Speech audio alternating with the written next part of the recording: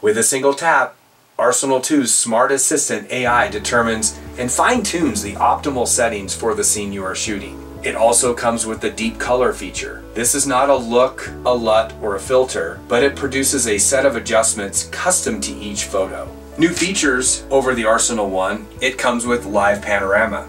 This takes all the guesswork out of shooting panos. Arsenal 2's Night Assist makes it easy to focus on the stars. With a simple tap, the Arsenal 2 calculates the perfect setting to get those sharp, detailed night photos. It also has a feature to magically remove people from shots. By combining multiple shots, crowd control can automatically remove people and other moving objects from your photos.